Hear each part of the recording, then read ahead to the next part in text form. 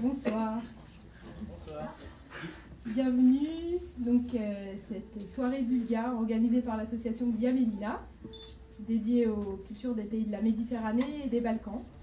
Voilà, et on a l'honneur d'accueillir euh, euh, mon ami Ivan Christophe, qui vient de, Bulgarie, de Sofia, qui est en, voyage en France, à Toulouse, pour la première fois. Et donc, on s'est dit qu'on pouvait profiter de cette occasion-là pour faire un concert lecture avec lui. Voilà, donc euh, un petit concert lecture qui sera suivi de, questions. Vous pourrez lui poser des questions. Donc euh, en français, ça sera traduit en bulgare. Voilà, ou en bulgare directement et ça sera traduit en français.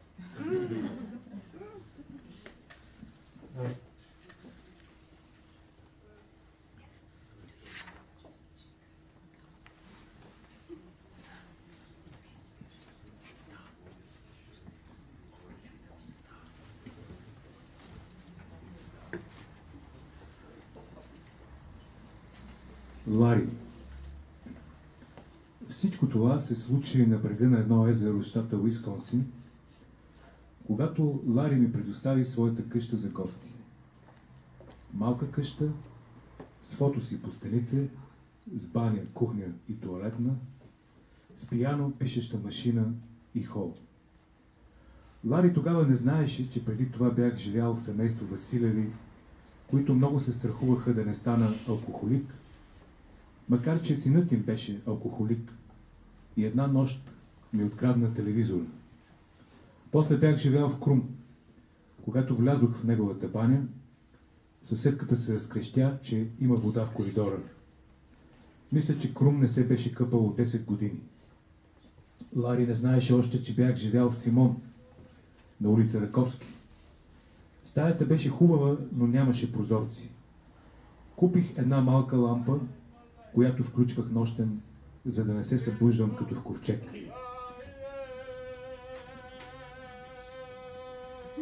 Бях живял дори в едно мазе, в казармата, с Гонзо, кръгъл сирак, който всяка сутрин отваряше очи и запалваше цигара. Приятелю Лари, колко неща не знаеш. Благодаря ти, че ми предостави твоята къща за гости. Благословен бъди, защото сега пише тези стихове на твоята пишеща машина.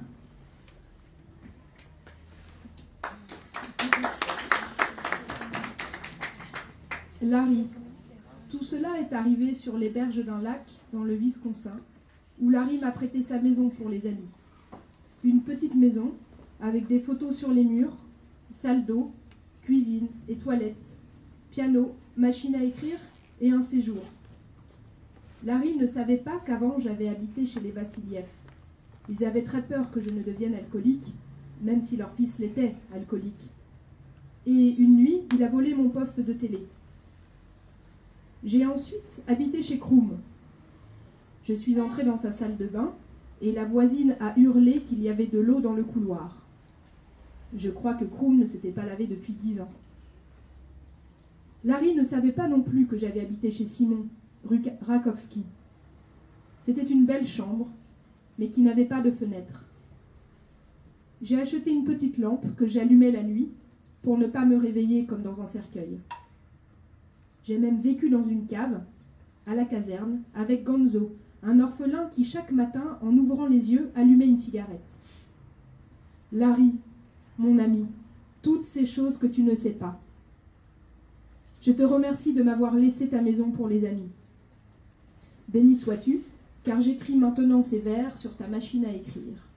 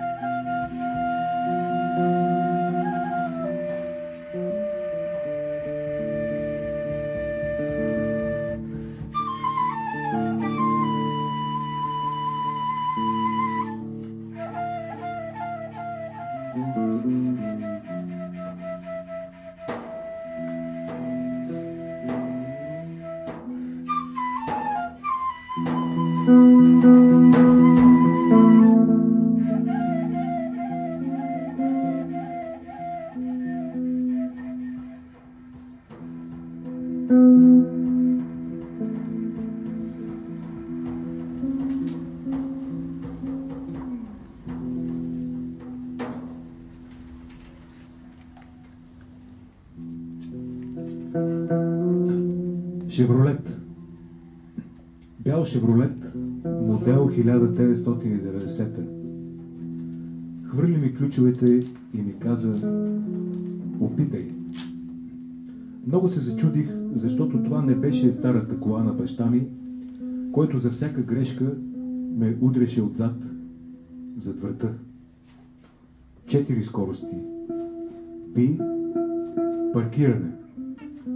Ар, заден ход. Н, неутрална ми каза, като Швейцария. Ди, напред. Само газ и спирачка. Когато завъртах ключа и светлините светваха нощем. С тази кола обикалях езерата на Уисконсин, езерото Мукасина, Бурното езеро, Залезното езеро. Понякога спирах да снимам стада елени, друг път зареждах бензин, натисках педала до дупка и така откривах Америка.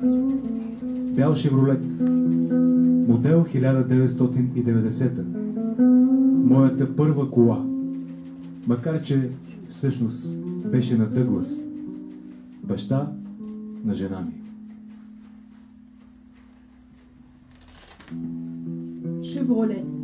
Une Chevrolet blanche, année 1990.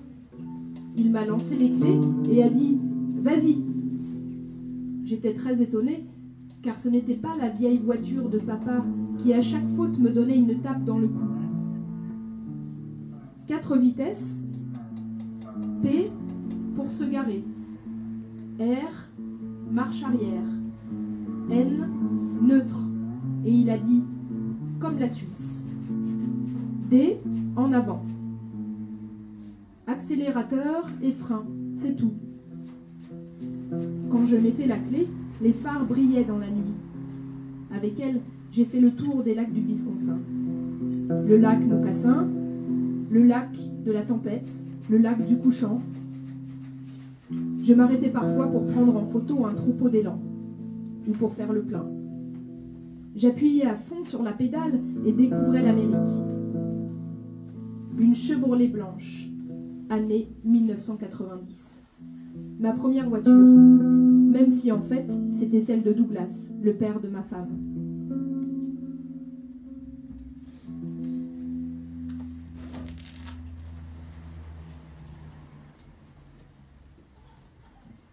Poetry Room.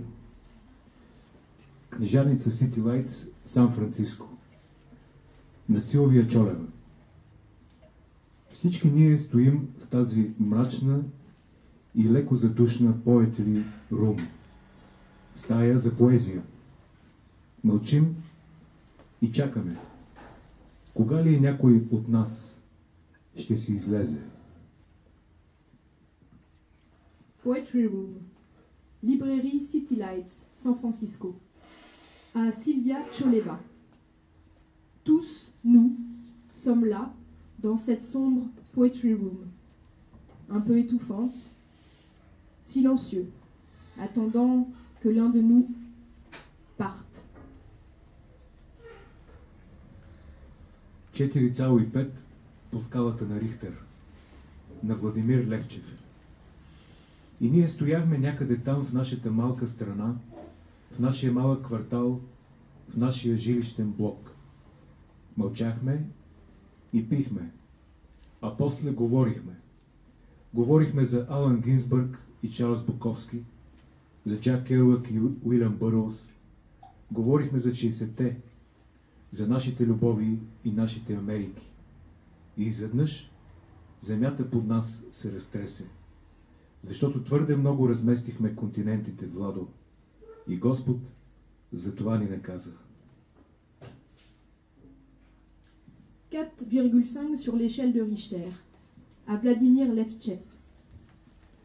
Nous aussi, nous étions là, quelque part, dans notre petit pays, dans notre petit quartier, dans notre immeuble. Nous buvions silencieux. Et puis, on a parlé. On a parlé d'Allen Ginsberg et de Charles Bukowski, de Jack Kerouac et de William Burroughs. On a parlé des années 60, de nos amours et de nos Amériques. Et tout à coup, la terre sous nos pieds s'est mise à trembler. Car on avait trop déplacé les continents, Vlado. Et Dieu nous a punis.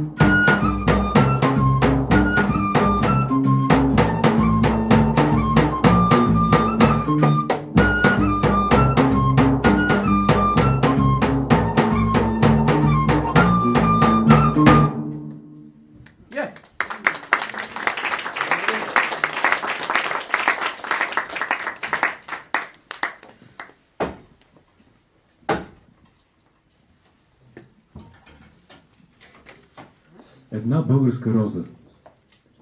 Трябва да има нещо българско, казвах си. Трябва да има нещо българско в този град. Обикалях улиците и галериите.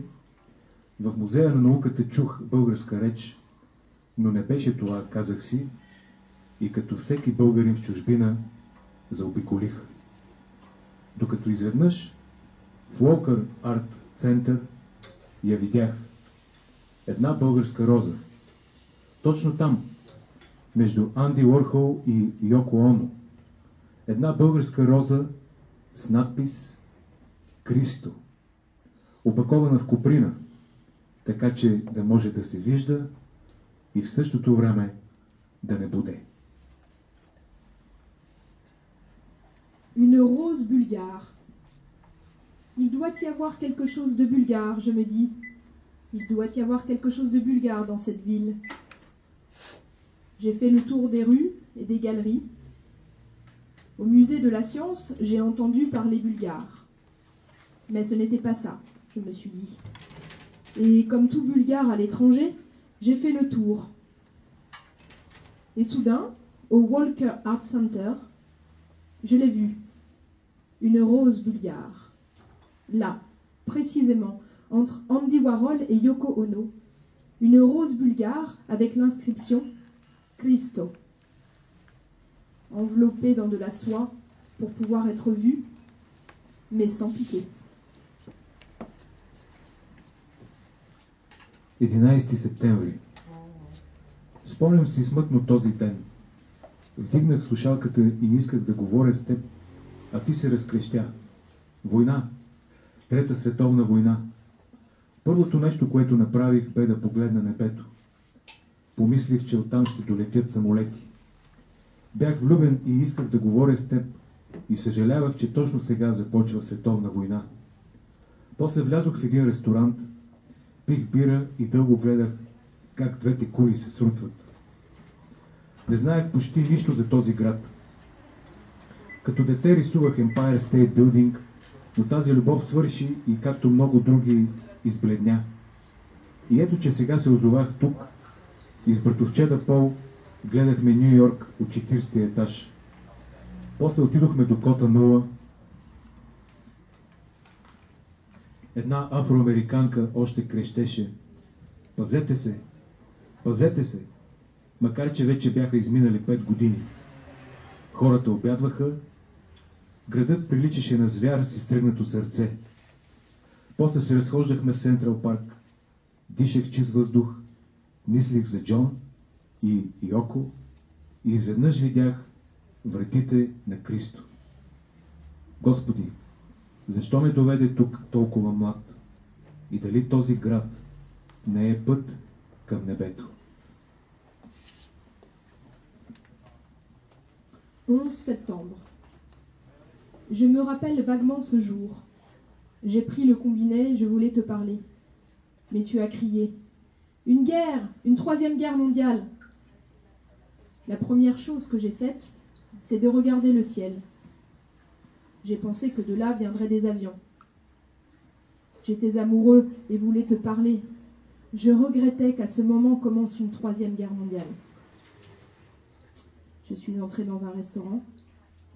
J'ai bu une bière en regardant les deux tours s'écrouler. Je ne savais presque rien de cette ville. Enfant, je dessinais l'Empire State Building. Mais cet amour a pris fin et, comme tant d'autres, a pâli. Et voilà que j'étais maintenant ici, avec le cousin Paul. On regardait New York du 40e étage. Ensuite, on est allé au niveau zéro. Une afro-américaine hurlait encore Attention Attention Même si cinq années s'étaient écoulées. Les gens déjeunaient. La ville ressemblait à un fauve au cœur arraché. On s'est promené à Central Park. Je respirais l'air pur et pensais à John et à Yoko. Et tout à coup, j'ai vu les portes de Christo. Seigneur, pourquoi m'as-tu amené ici, si jeune? Cette ville n'est-elle pas la voie menant au ciel?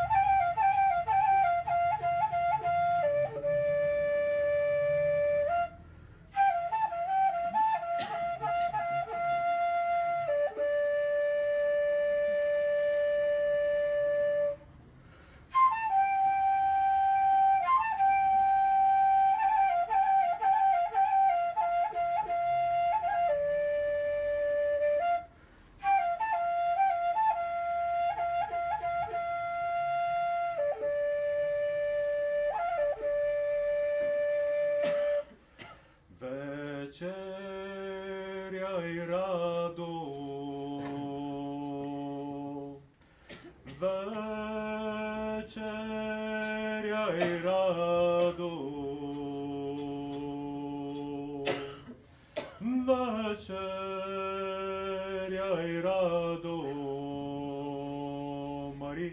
von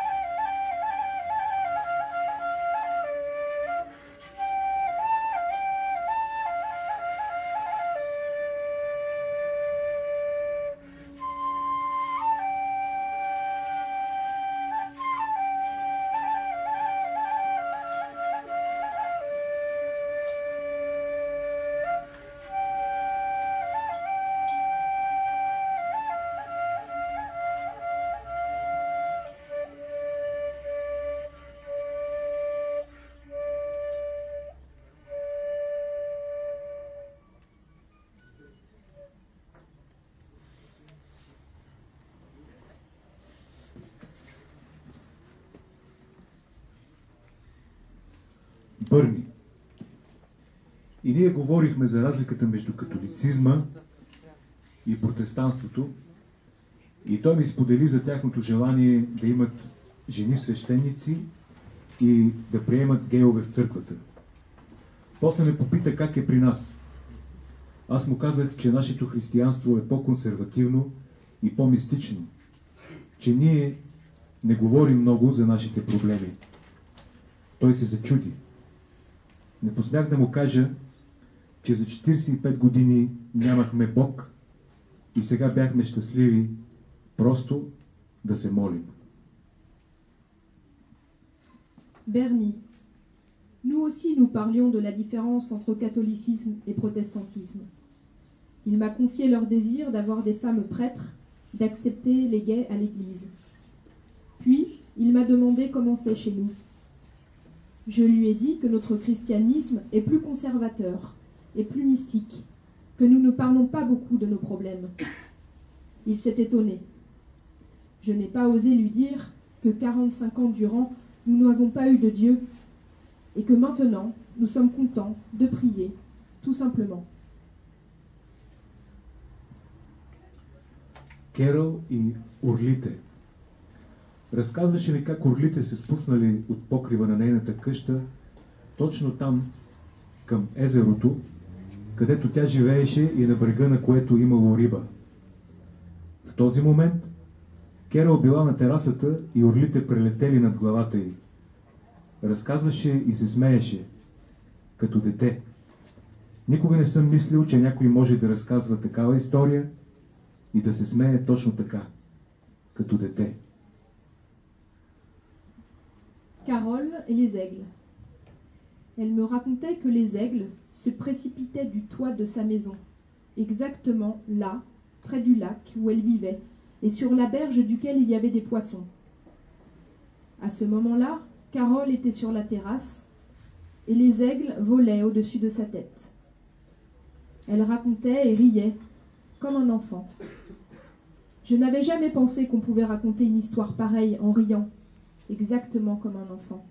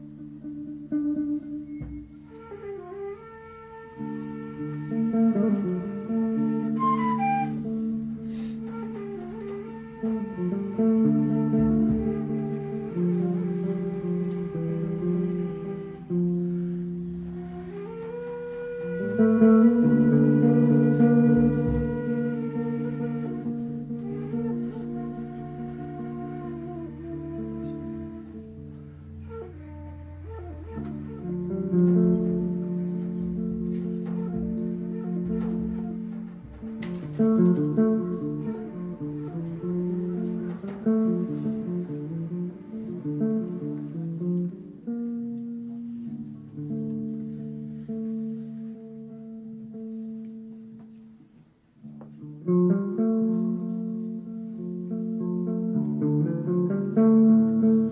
нула. Бях взел онзи автобус Sightseeing, с който можеш да разглеждаш Нью Йорк за два дена. Очудих се, че в маршрута имаше спирка Кота нула. Можеш ли да превърнеш празнотата в обект на желание? Колко струва билета за нищото? Пред Кота нула всички мълчаха като пред някакво невидимо гробище. Само една афроамериканка още крещеше. Пазете се! Пазете се! Макар, че вече бяха изминали пет години. Вгледах се в голата земя с надеждата да открия някакви руини, някакъв белег за отминал живот, но не успях. В тази страшна тишина аз бях единственият турист, обременен от история. Niveau 0. J'avais pris l'autobus Sightseeing qui permet de regarder New York en deux jours. Je me suis étonnée en voyant sur la ligne un arrêt niveau 0. Peut-on transformer le vide en objet de désir? Combien coûte le billet pour le néant? Devant le niveau 0, tous se taisaient, comme devant un cimetière invisible. Seule, une afro-américaine hurlait encore. Attention! Attention Même si cinq années s'étaient écoulées. J'ai scruté la terre nue dans l'espoir de découvrir des ruines, la cicatrice d'une vie passée. Mais non. Dans ce silence terrifiant, j'étais le seul touriste chargé d'histoire.